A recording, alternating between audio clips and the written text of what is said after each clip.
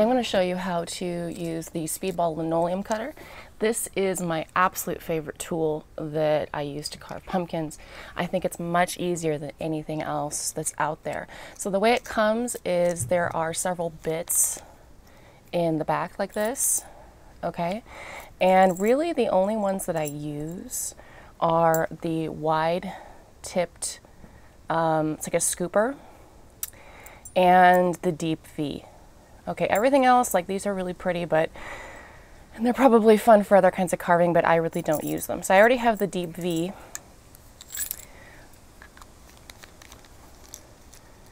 in here and the way you get them in and out is you unscrew the top this one's kind of stuck because it has pumpkin guts and years of rust but you undo this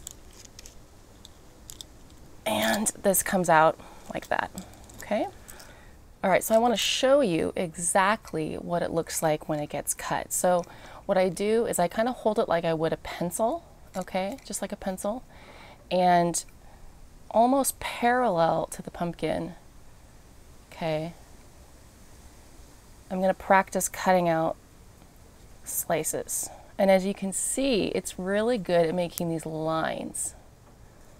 You can go pretty deep or you can go shallow, okay? And this is a really good idea to do at the beginning to practice on the back of a pumpkin, okay? Now, if I were to use a different bit, I already have on this one plugged in the, this is the larger bit. You see how it's rounded like that? So this is really good for taking out larger areas because you get a wider cut. It can also go pretty deep. So if you want to get some really bright spots, it's good for that. Okay, so let's say you want to leave this black triangle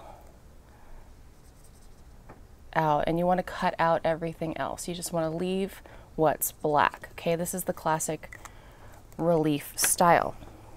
What I would do is I would take your deep V, okay, and I would trace the edges. I'm going to go around the edges of it first. So like in coloring books, sometimes you do the uh, edges, the lines first. Okay. Like that. This cutting tool makes nice corners. Do you see that corner right there? How it's real crisp? These are great for that. Okay. Then I'm going to switch to my scoop neck and I'm going to now scoop out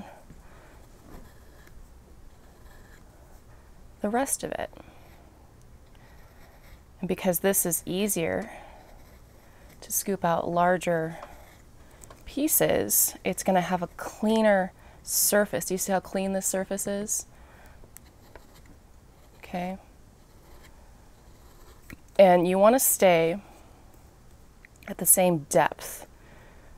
Okay, you don't want to have some lines going deeper than others because that's going to show up when it gets lit. Okay. But you know what? I think this needs to have a nice clean outline. So what I'm going to do is I'm going to draw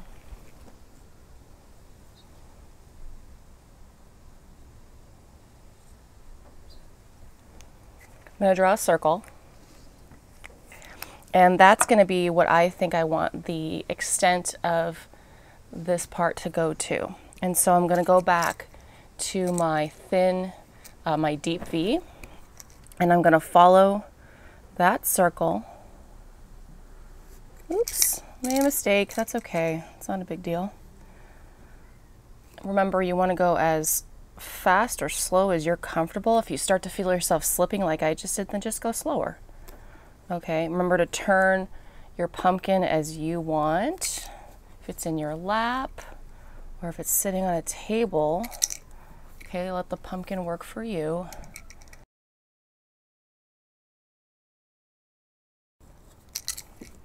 Okay, so this is my guiding line now. Now I'm going back to the wide dip, the wide tip, and I'm continuing to scrape out now the center.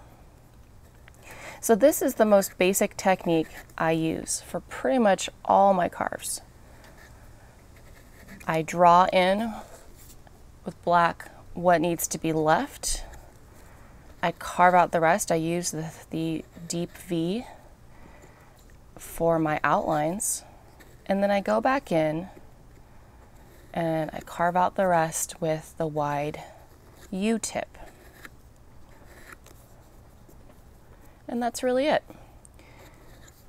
All the carving I'll be showing you is pretty much in this style. Now sometimes you're carving out what's black in a traditional etching, sometimes you're leaving what's black, but either way, you're starting with your V, you're going around your shapes and guiding lines, and then you're cutting out what's in the middle. Okay, that's it. Good to go.